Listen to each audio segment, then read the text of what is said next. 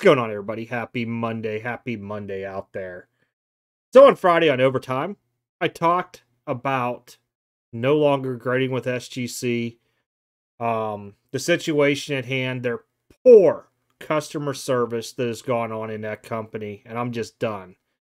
Today's video, I'm going to go over the whole thing with you guys, and hopefully it all makes sense. I know there's going to be a lot of people who probably disagree with me saying, you know, I'm done with them, but I've been grading cards since 2001.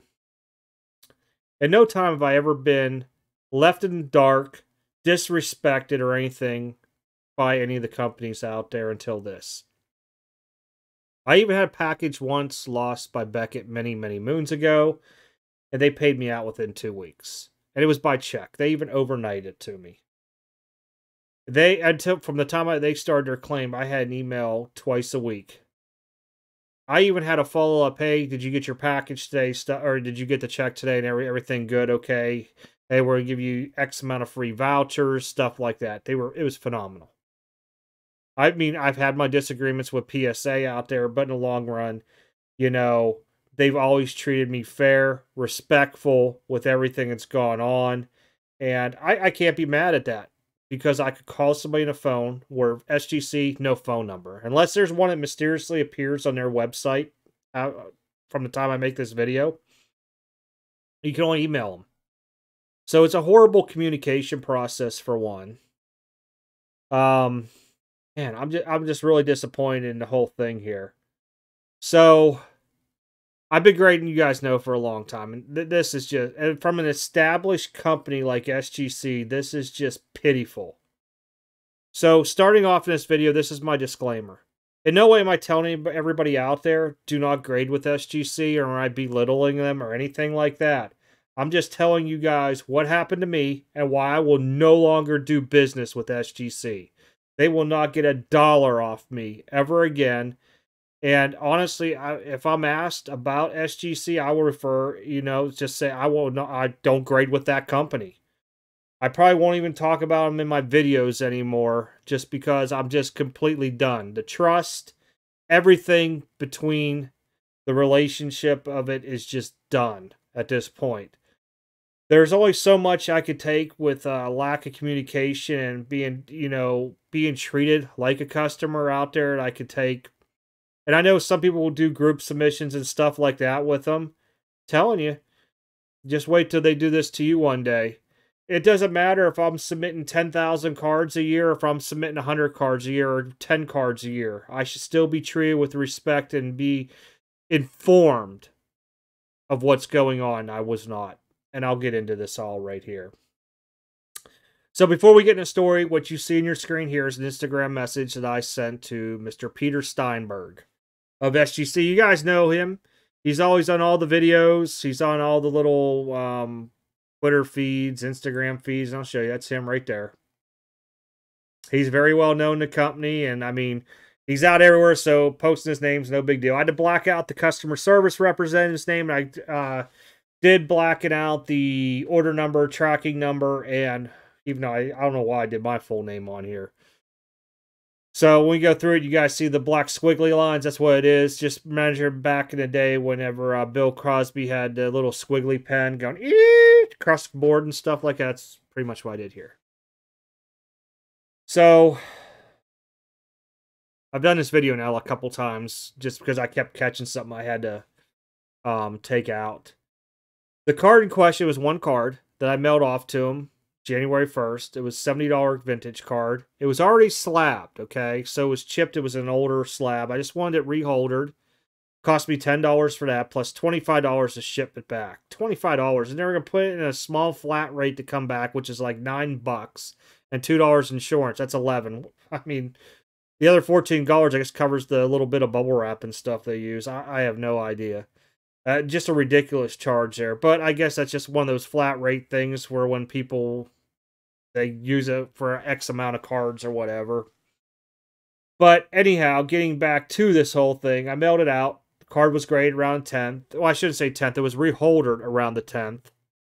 Um, on the 11th, I got tracking. You know, it goes out. Never shows up. I'm like, ah, probably delay one day. Still ain't here.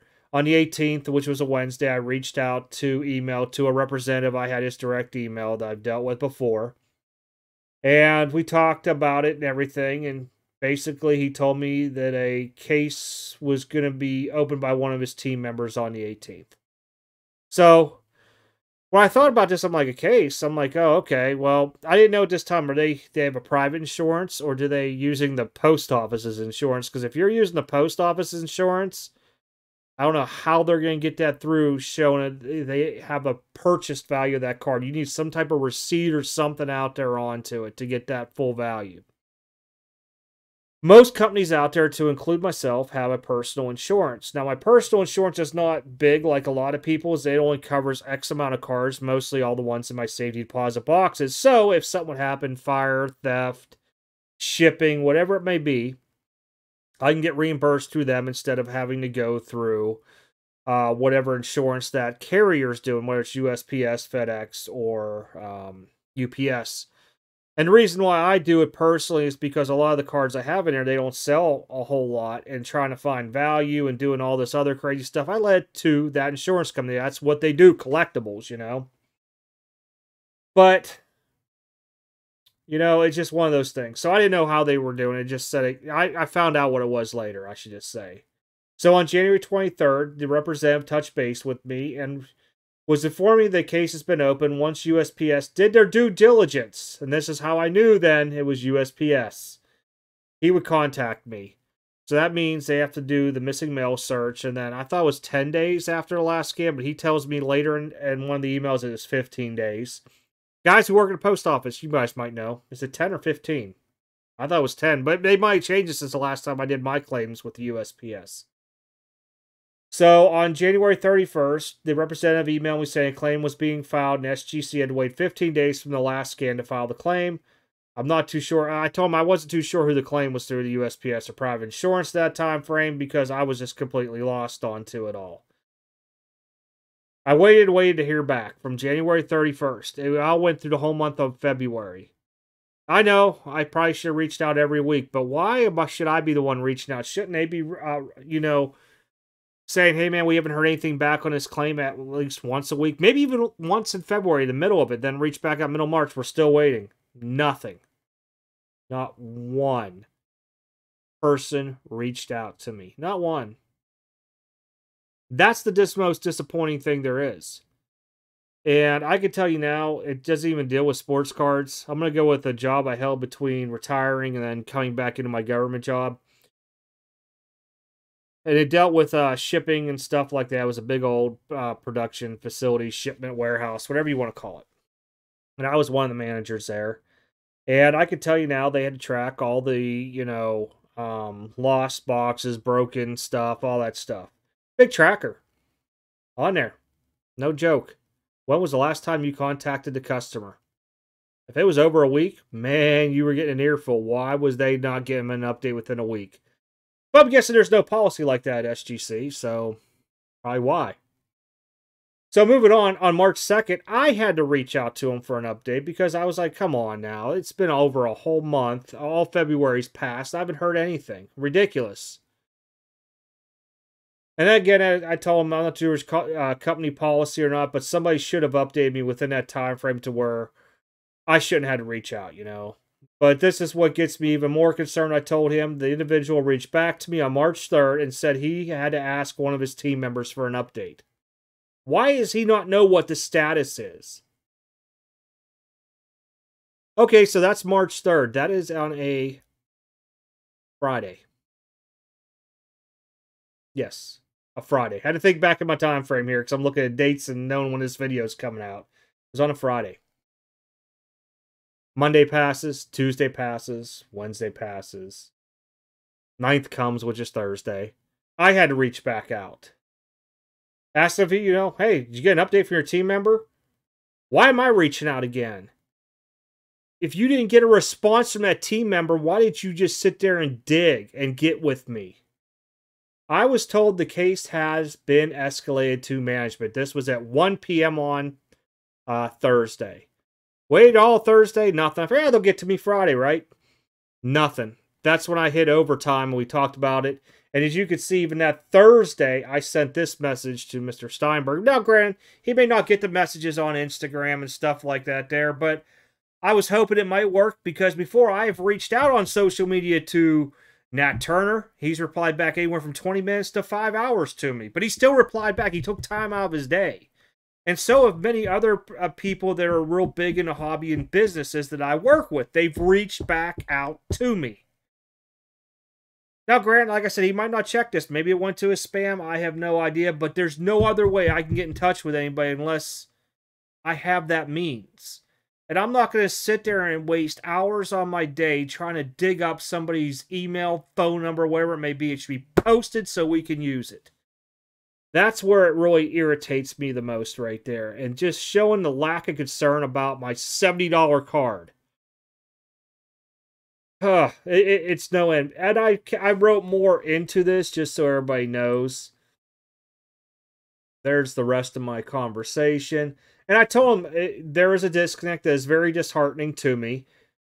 That I had to continue to ask for an update where there should be a company tracker something that briefs, a uh, brief on claims and report to where any customer should feel confident they will be reached back to. You know, it's ridiculous. It can be a simple thing, and we're still waiting on the process. What's that take? 30 seconds type out and send? Out of your day? Oh, I'm sorry, I'm not that important. Maybe your bulk group submitters are, or whatever it is. Either way, you have to treat each customer the same. It don't matter if I'm submitting whatever amount in. That's where it really ticks me off the most.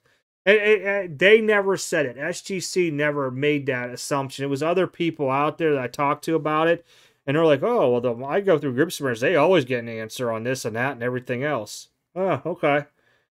Well, if they're treating them with all this stuff, why can't I? Oh, because it was just a little piddly card. Well, I can tell you guys now, time this video, I've gone on to PayPal and filed a charge back for my $35 I spent to reholder the card and for my shipping that I had to pay for. I bought the card. Lesson learned. Worst experience of my life. Horrible. Um, I'm just done with them completely. It, it wouldn't even matter if somebody from SGC called me Monday, Tuesday, Wednesday after this video comes out. I would not change my opinion at all onto it because it's how you get treated as an individual, a person out there that would makes my opinion, you know, and I'm fair to have my own opinion that I'm done with them. And just you know, maybe my lesson out there, it's this somebody else goes through the same thing. They'll be they'll just see, hey, dang, somebody this happened to somebody else out there too, and this is how it was same way it was handled. I don't know, but I'm not telling people don't go grading with SGC or nothing like that. I'm just done because their customer service was horrible. It was the worst I've seen from any company out there. I've even heard people having issues with GMA and them even getting back to them within a quick time frame than this. It, it just ridiculous, ridiculous across the board. I did tell him um, because I sent an Instagram from Extreme Card Breaks that he could look underneath the order number. I gave him my real name on there. My account actually has my phone number, name, and everything on to. He could reach out to me, email versus that way. Nothing ever came. He never even read this because I believe this here shows a little person once they read it or something like that. But I could scroll, pull it over to the left or right. I can't remember. It, it's unread. But hey, I did everything I humanly could. I was more than patient with this company, and they just couldn't do it right at all. So, you lost my business. And anybody else that was you know, pushing cards through me, they lost their business too because they're going to have to do it on their own or find somebody else. Because I will not send anything to this company ever again. Um, I know a lot of people are going to be surprised by this and be like, oh, it's a one thing in a lifetime. It could happen anywhere out there. I looked at this for a very long time frame before I even brought a lot of this to attention to a lot of people. And I've talked to other people that have reps in PSA, Beckett, um, oh, I can't remember the other grading company now. They have a black label, uh, like a black looking label. I can't even think of it now.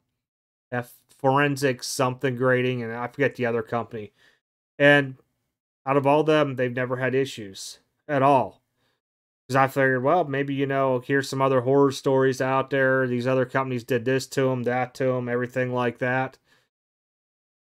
I'm talking about big bulk submitters, nothing. You know, they were surprised at this. They're like, well, it is a little card. I'm like, it don't matter if it's little or big. I'm like, you run a business. If somebody loses your little card out there, aren't you, you know, going to make it right with the customer regardless?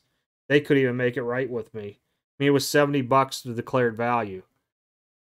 They could just been like, hey, man, you know what? We're going to send you over to PayPal 70 bucks, refund back, whatever. Cut me a check. Could did anything. They didn't. They didn't. Why? And I can tell you, this is probably the reason why I got escalated to management because they failed to get any money from the post office. I know for a fact because I've had to file claims. Everybody recalls my videos onto that if you've been around that long.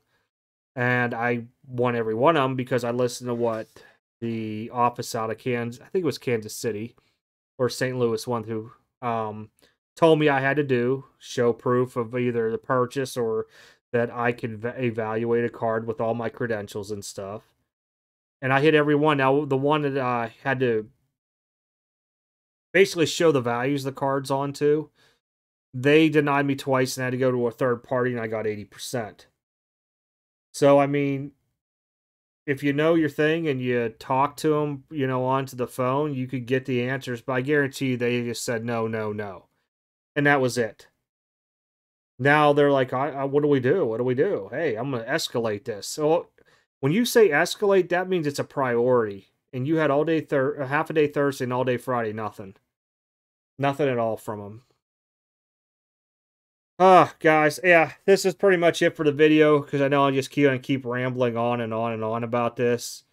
But this will be my last um, video with anything with SGC and a title onto it, as I am done with that company after the way that this happened. Um, it it just it just does not sit right with me at all. They have no phone number to call. There's no other way. I mean, I probably could have reached out to some people that have talked with Mr. Steinberg and had them reach through, but I shouldn't have to jump through all these hoops because there's a disconnect in your company. I shouldn't have to do that. And I understand probably why it wasn't high priority because of the value that it was in there, which shouldn't even be the issue to begin with. It was a customer to be taken care of. And just wasn't taken care of. But all right, guys, I appreciate y'all listening to the story. Um, and hanging in there with me with it. But I figured I would share this all with you just so you could see what I've had to go through over a month and a half now with that grading company. And they just won't receive any more cards from me to grade.